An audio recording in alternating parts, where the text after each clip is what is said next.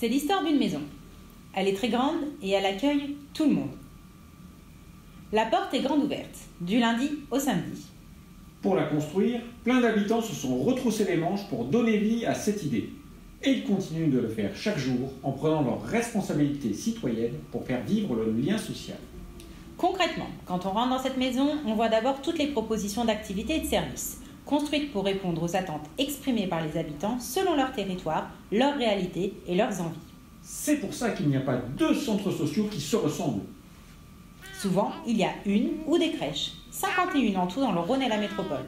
Certaines s'investissent sur l'accueil du handicap, d'autres sont labellisées crèches AVIP, favorisant l'insertion ou la formation des parents.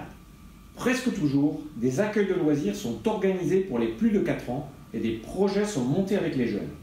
Pour eux, il y a aussi de l'accompagnement à la scolarité et plein d'autres propositions adaptées à leur âge pour les faire grandir. Mais il n'y a pas que l'enfance et la jeunesse qui ont leur place au centre social. L'appui aux familles et le soutien à la parentalité est aussi un aspect fort de la maison. Groupe de parole ou café des parents, activités parents-enfants, on avance ensemble pour nourrir chaque parent dans son rôle éducatif et accompagner toutes les situations. Cette maison, si elle ressemble parfois à une ruche, très active à l'intérieur, elle est surtout faite pour se tourner vers l'extérieur et ouvrir les horizons. On y organise beaucoup de sorties culturelles, de loisirs, nature, détente. On y vient en solo ou en famille, mais on va toujours en collectif. Mais s'évader ne fait pas tout. Pour répondre aux problématiques d'un grand nombre, le centre social assure aussi la tenue de permanence d'accès aux droits, avec par exemple des écrivains publics, de l'aide administrative ou des espaces numériques pour s'approprier les outils et les démarches. Le Rhône et la métropole en comptent 35. Le centre social, c'est aussi une maison des projets par et pour les habitants du territoire. On y accompagne des projets collectifs, 21 jardins partagés, plus de 350 fêtes et événements de quartier par an, près de 175 projets concrets d'économie circulaire, café d'autoréparation, réseau d'échange, boîte à partage, atelier manuel, création et récup.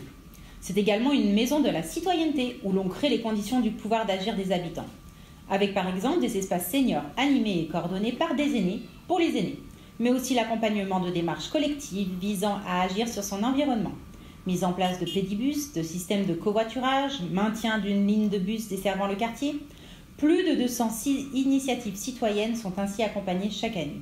L'engagement est au cœur de cette maison, avec plus de 60 bénévoles en moyenne dans les 77 centres sociaux du territoire. Toutes ces maisons ont des fondations communes sur lesquelles elles ont été bâties et vivent au quotidien.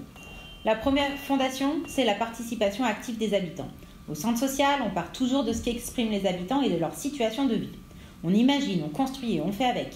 Et puis on fait ensemble, dans un collectif, parce qu'on est convaincu que tout le monde a des richesses à apporter au groupe. La deuxième fondation de cette maison, c'est l'éducation populaire.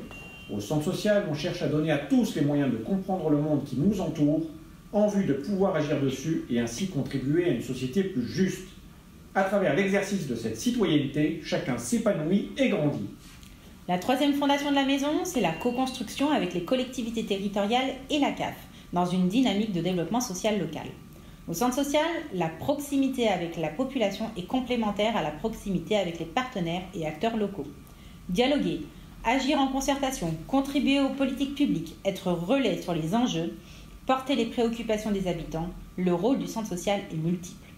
Pour la faire vivre, l'entretenir et la rénover, plusieurs acteurs apportent des fonds. La CAF à hauteur de près de 40%, les collectivités locales également à hauteur de 40% et une pluralité d'autres sources pour les 20% restants. Chaque centre social rédige un projet social et un projet famille qu'il renouvelle tous les 4 ans, ce qui permet à la CAF de délivrer son agrément centre social. Fruit d'une concertation avec les habitants, les partenaires locaux et les collectivités locales, ce projet social constitue une clé de voûte dans l'architecture de la maison. Comme la maison a été construite par et pour les habitants, quel que soit le contexte, elle vit. Le lien demeure, on invente plein de choses pour le maintenir quand la rencontre physique devient plus difficile. Des maisons comme ça, il y en a 77 dans le Rhône. La Fédération des centres sociaux les accompagne, anime le réseau et le représente. Au total, ils rassemblent 5400 bénévoles, 4200 professionnels et 75 000 habitants. Un centre social, c'est tout cela. Un lieu de vie et de projet, un espace de convivialité et de citoyenneté, un partenaire des acteurs du territoire et bien plus encore. Alors, on se retrouve quand au centre social?